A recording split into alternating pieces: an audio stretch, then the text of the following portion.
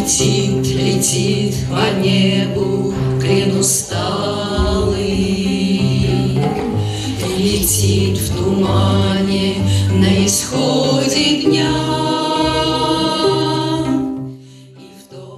Известные строки стихотворения «Журавли» Расул Гамзатов представил широкой публике в далеком 1968 году. Пройдя проверку временем, произведение остается одним из самых известных в коллекции поэта не только на родине, но и за ее пределами. Годом позже, после выхода стихотворения, родилась одноименная песня. В 1969 году ее исполнил советский актер и эстрадный певец Марк Бернес, композитор и создатель музыки Ян Френкель.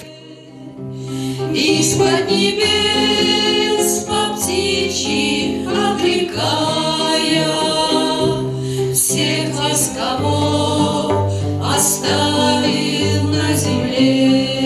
2023 году исполняется 100 лет со дня рождения Расула Гамзатова. Юбилейная дата стала поводом для творческой встречи в одной из библиотек Самары. В этот день под аккомпанемент гитары собравшиеся гости исполняли не только произведения поэта, но и музыку, эмоционально переносящую в ту эпоху. Встречу приурочили не только к юбилею Гамзатова, но и к празднованию Дня белых журавлей. 22 октября отмечается день, или еще его называют праздник белых журавлей. Это две очень важные даты, потому что все мы знаем, что легендарный поэт э, Расул Гамзатов, он своим творчеством, всеми своими произведениями э, призывал к любви к родине, к женщине, к матери. И его поэзия, она многонациональна, она объединяет народы. На встрече гости вспоминали о вехах творческого пути Расула Гамзатова, обсуждали влияние наследия, которое оставил поэт потомкам, и делились впечатлениями о самых любимых произведениях писателя. Стихотворение, оно мне запало в душу.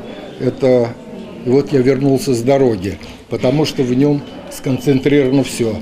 Любовь к женщине, к родине, к семье. За музыкальную программу дня отвечала самарская вокальная группа «Славичи». По мнению участников, через песни наиболее точно передается смысл Дня белых журавлей. И не случайно, ведь инициатором литературного праздника был сам писатель. Этот день объединяет поэзию, духовность, память о погибших на полях сражений. Ксения Баканова, Михаил Ермоленко, Николай Сидоров. События.